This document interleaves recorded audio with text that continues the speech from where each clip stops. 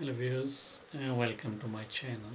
Uh, today's topic is osteomyelitis, which is more commonly known as uh, uh, bone infection.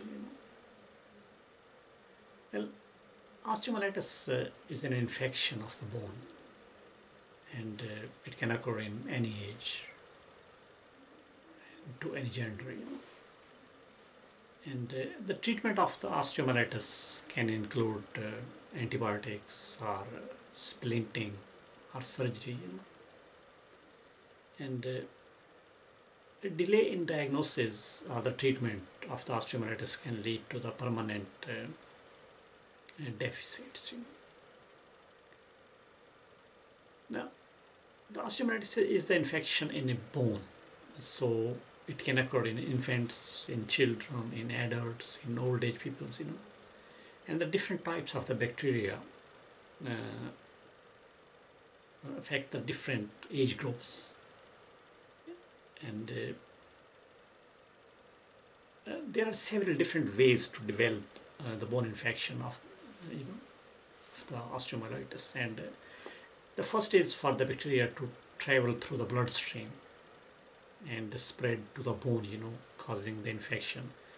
And the most often uh, it occurs when the patient has an infection elsewhere in the body, such as uh, like pneumonia or uh, abscess tooth or the urinary tract infections, you know, or any open wound um, uh, over a bone can lead to the osteomyelitis as well, and uh, this happens most commonly with underlying peripheral vascular uh, disease or the peripheral uh, neuropathy or the diabetes, you know.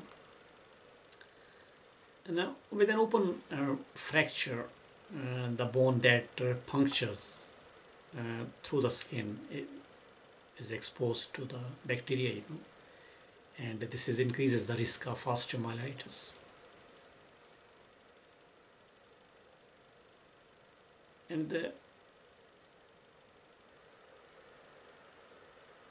you know, the acute osteomyelitis uh, develops rapidly over a period of uh, uh, 7 to 10 days and the symptoms may include like uh, fever or irritability or fatigue you know and the tenderness or the swelling around the uh, affected bone or the uh, loss of range of the motion you know.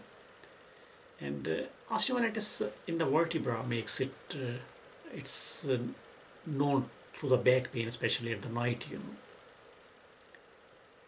and uh, the symptoms of the osteomyelitis can vary greatly, you know, and in children osteomyelitis can often uh, occurs more quickly and they develop pain and tenderness over the affected bone, you know. And in adults, the symptoms may include like irritability and pain and chills, redness and fever, stiffness, and nausea, you know.